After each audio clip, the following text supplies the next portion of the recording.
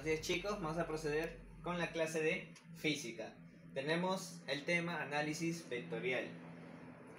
Como vemos acá, análisis vectorial es un elemento matemático que se representa en un segmento el cual va a tener una dirección, un módulo y un sentido. ¿Qué significa? Que es una magnitud vectorial. Recordemos que las magnitudes vectoriales son aquellas magnitudes que tienen sentido, tienen una dirección de desplazamiento. Vemos acá en un plano de coordenadas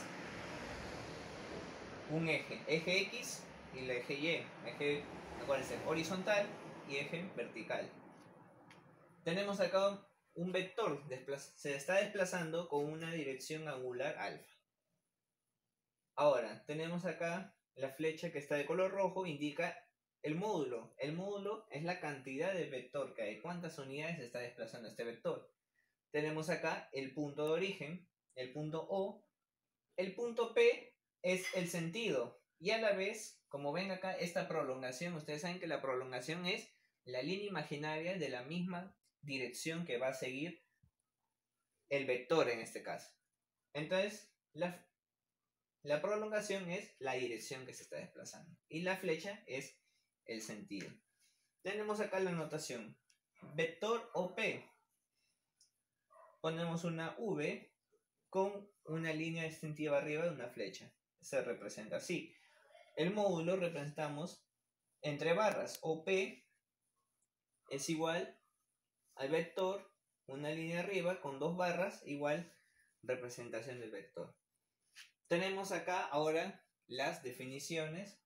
Módulo, como les dije, tamaño del vector, cuántas unidades mide el vector que vamos a ver la dirección orientación del vector, ya sea en dirección diagonal, vertical, horizontal, etc. El sentido dado por la cabeza o flecha del vector, como les he indicado acá, el sentido que está teniendo el, el vector, en qué sentido se está desplazando. Tenemos ahora los tipos de vector. Vectores colineales cuando tienen la misma línea de acción. ¿Qué significa? Que si pertenecen al mismo eje. ¿Qué, ¿Qué tenemos acá? En un plano, en un plano de coordenadas tenemos que este eje que va de izquierda a derecha pertenece al eje de las abscisas, o sea, el eje X. Tiene la misma línea de acción, el eje horizontal. Este es el eje horizontal. Y acá está cumpliendo la misma línea de acción. Si quisiéramos otro ejemplo, podría ser arriba y abajo. Tiene la misma línea de acción. ¿Por qué? Porque es eje vertical. Esos son vectores colineales, pertenecen a la misma línea. Vectores concurrentes son aquellos vectores que van a tener un punto de intersección común o un punto de corte. En este caso vemos que tres vectores están yendo los estamos prolongando, estamos haciendo su prolongación y vamos a ver que va a llegar en un momento que se van a partir, mejor dicho, se van a interceptar los tres vectores. A ese punto se llama punto de concurrencia. Pasamos a los vectores coplanares. Son vectores que se encuentran en un mismo plano, ya sea independiente de su dirección o de su sentido tenemos acá tres vectores ubicados en un mismo plano cartesiano. Vectores iguales, son, como su nombre lo dice, son vectores que tienen el mismo módulo, dirección y sentido. Significa que tanto en unidades como en dirección y en sentido siempre van a ser iguales. Si este vale 5 unidades, el vector B también va a valer 5 unidades. Si el vector B vale 10 unidades, el vector A también vale 10 unidades. Ahora vamos a proseguir con la segunda parte que vamos a hablar de los del vector resultante y las operaciones con vectores. Continuando ahora con la segunda parte, vamos a hablar, como les dije, el vector resultante. El vector resultante es el resultado de, unos, de un sistema de vectores. ¿Qué significa? Es la, es la operación de esa suma o resta de vectores diferentes. Ahora pasamos a operaciones con vectores. Primero, adición. Adición, pero deben ser vectores colineales. para poder sumarlos. Tenemos acá un ejemplo. Vector que está yendo hacia la dirección hacia la dirección izquierda con otro de cuatro unidades con otro vector que está yendo a la dirección izquierda de tres unidades.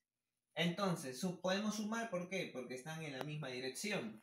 Entonces, el vector resultante, o sea, el vector que resulta de estos dos, como les dije, el vector resultante es un vector que resulta de todo un sistema de vectores. De estos dos, lo, lo transformamos en un solo vector. Entonces, 4 unidades más 3 unidades son 7 unidades.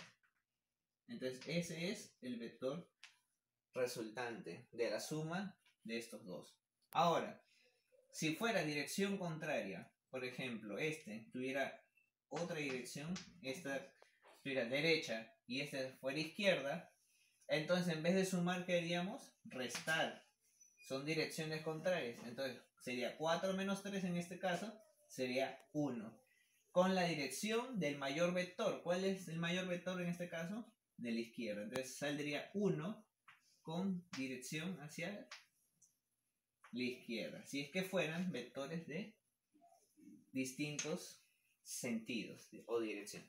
Pasamos al método del polígono. Método del polígono es la continuación de varios vectores desde un punto de origen hasta su punto de llegada. Como acá, en este ejemplo. Tenemos el vector A, su punto de origen, punto de llegada. El de ahí continúa otro vector, punto de origen, punto de llegada. Y acá continúa otro vector. Entonces, tenemos tres vectores. Cinco unidades, que es vector A, vector B, vector C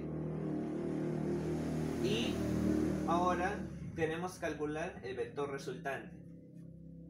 ¿Cómo calculamos? Desde el primer punto que ha partido el vector hasta el último punto que esté llegando al último vector.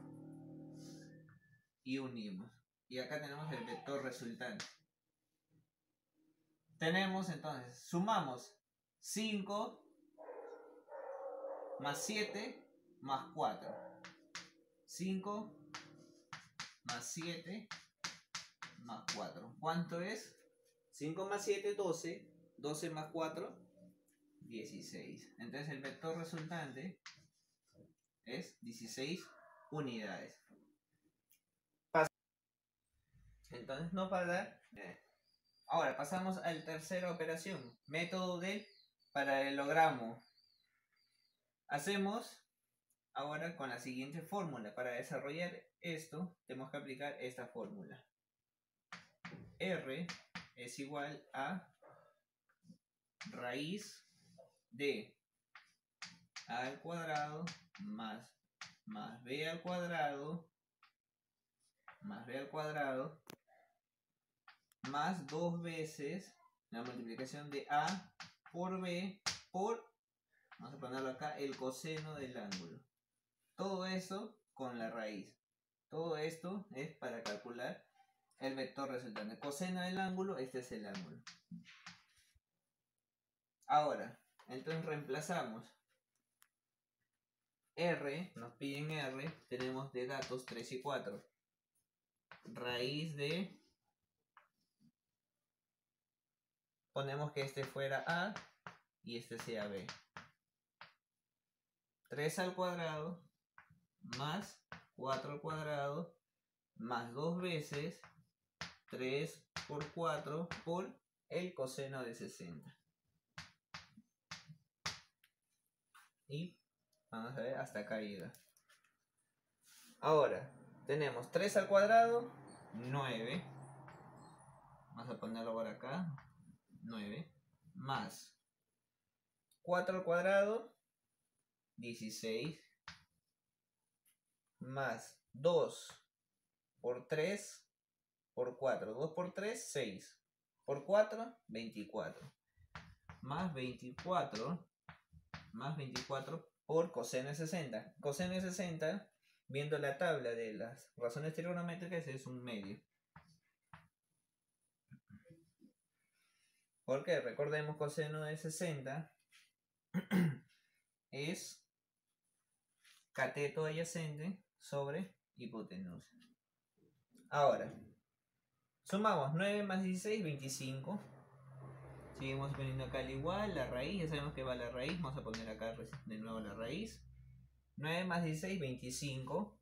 Desarrollamos esto de acá, 24 por un medio, 24 por 1, 24 entre 2, 12. Tenemos entonces 25 más 12.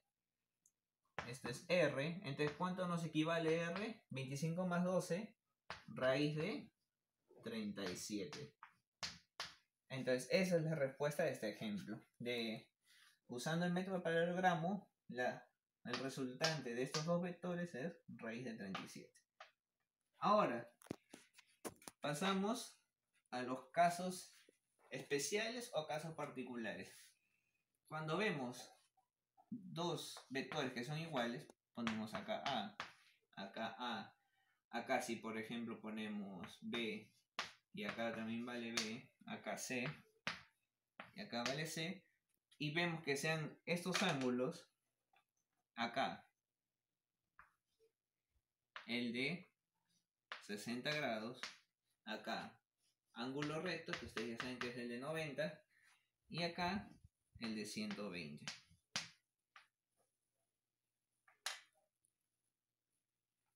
La resultante es directa.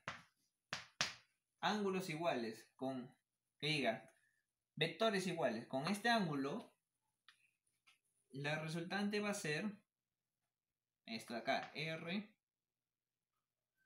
perdón, A raíz de 3. El vector A multiplicado por raíz de 3. Acá tenemos la resultante va a ser igual el vector b va a ser el vector b multiplicado por la raíz de 2. Y acá la resultante va a ser el vector c nada más multiplicado por nada. Entonces, estos casos especiales, cuando nosotros veamos, por ejemplo, que nos digan acá 5 y acá 5, nos den este ángulo, entonces, ¿cuál será la respuesta? El mismo vector multiplicado por raíz de 3. Si acá, por ejemplo, nos dan, como les digo, a ver, acá nos dan, en vez de B nos dieran 10, 10, entonces la resultante sería 10 por raíz de 2. Y acá igual, si acá nos dieran 15 y acá nos dieran 15, ¿cuál sería la resultante? El mismo, 15. Entonces, espero que hayan podido entender toda la clase y los ejemplos porque la siguiente semana ya vamos a pasar a lo que es movimiento rectilíneo uniforme. Y por esto necesitamos que aprendan ya vectores. Espero haya sido de su entendimiento la clase. Gracias.